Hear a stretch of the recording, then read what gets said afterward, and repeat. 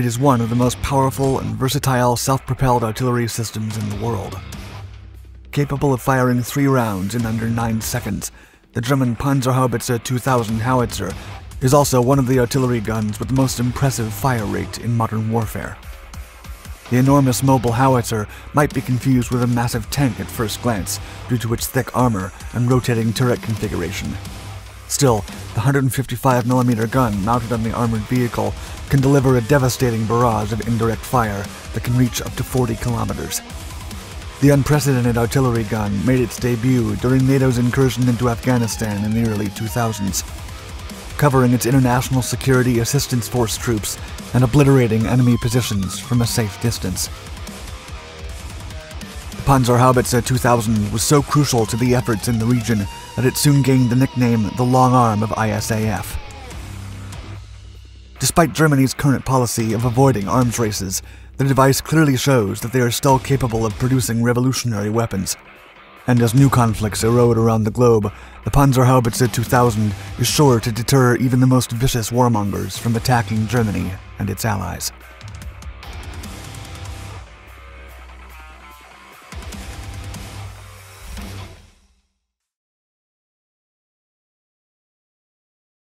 Development Developed by Krauss Maffei Wegmann, or KMW, cooperatively with the leading subcontractor Rheinmetall Land System, the 155mm self-propelled howitzer Panzerhaubitze 2000 was created as a modern artillery solution for the German army and as a replacement for the aging and increasingly unreliable PZH-155-1. The powerful 52 caliber rifled gun is chromium lined for its entire 8 meter length and includes a muzzle brake on the end.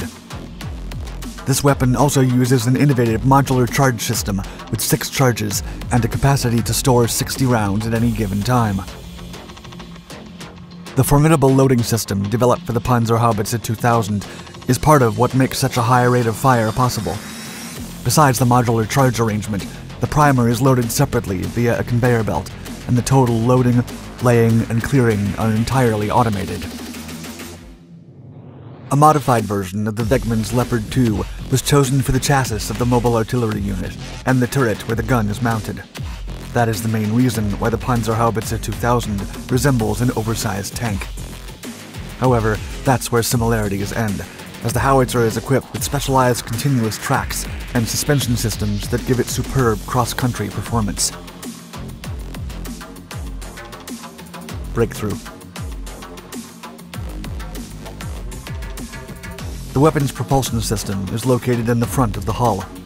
It consists of an 8-cylinder direct injection supercharged MTU MT881 KA500 diesel engine with a 4-speed Renk HSWL 284C gearbox.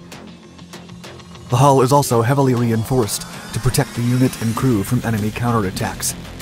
This design was modified after its first iteration in the early 2000s, and the newer version, developed in the 2010s, has thicker armor and can fire a more comprehensive array of ammunition.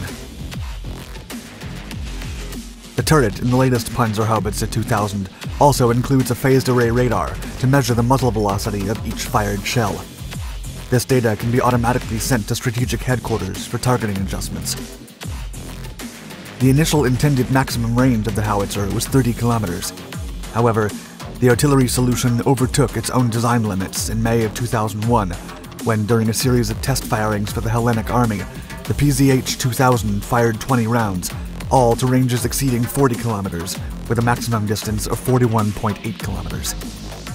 Conventional howitzers have an approximate range of just over 14 kilometers, making the Panzerhaubitze 2000 a significant breakthrough in modern artillery development. The unique range capabilities of the German solution were further reinforced in November of 2002 during live firings in Sweden, where similar ranges were obtained using Rheinmetall's new long-range RH-40BB ammunition. The impressive ranges were obtained using M2000BB Assegai shells from the Denel Corporation of South Africa, in combination with the Rheinmetall DM72 modular charge system equipped on the howitzer. Eventually, a staggering range of 67 kilometers was achieved using M2005 VLAP assisted projectiles. To put it in perspective, a a Panzerhaubitze 2000 could engage targets in New York City all the way from Trenton, New Jersey, while remaining virtually immune to artillery counterstrikes. Around the world, The German army initially requested 450 units, but it has since reduced the demand to 260 as the government decreased its military budget in 2012. However, production of the unique howitzer continued as the Italian, Dutch, and Greek armies became highly interested in buying the German artillery solution. Greece acquired 24 units, while 70 were delivered to the Italian army thanks to a German Italian co production program. The system entered service with the Italian Army in June of 2007 and accomplished initial operating capability in October of 2008. Today, the Panzerhaubitze 2000 is an essential part of Italy's artillery divisions. The Dutch army signed a contract to purchase 57 units, which later decreased to 39, and completed deliveries by 2010. The remaining 18 units were offered to the Australian army, but were rejected. Due to its outstanding range, rate of fire, and reliability, German commanders are considering the gun's potential as a naval artillery solution. Thus, a Panzerhaubitze 2000 turret has been successfully mounted on the deck of the German Navy F-124 frigate Hamburg. No further details regarding the howitzer's gun use as a naval weapon has been revealed. Still, according to preliminary reviews, the gun is more than capable of performing adequately while mounted on the deck of a warship. Afghanistan. It wouldn't take long for the groundbreaking artillery system to go from the testing grounds to the battlefields. As NATO began a large scale incursion into Afghanistan in the early 2000s to root out the Taliban extremist forces hiding in the region, the howitzer would become a significant advantage for the International Security Assistance Force. In September of 2006, the Panzerhaubitze 2000 would complete its first live-fire combat operation, serving for the Dutch army in Afghanistan as part of Operation Medusa. During these preliminary tasks, three Panzer Panzerhaubitzes provided artillery support from over 30 kilometers away to NATO task forces as they attacked key Taliban positions. The system continued being used during the four stages of the ISAF deployment from 2006 to 2014. During that time, the weapon's formidable capabilities earned the admiration of Allied forces deployed across Afghanistan. Still, some significant flaws also became apparent. Solutions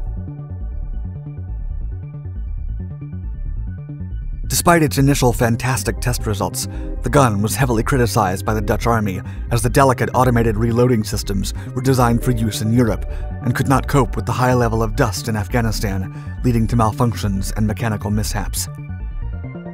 Additionally, the gun's drastic increase in armor during the development of the second iteration resulted in significant issues, including the need to always keep the system in the shade unless actually firing.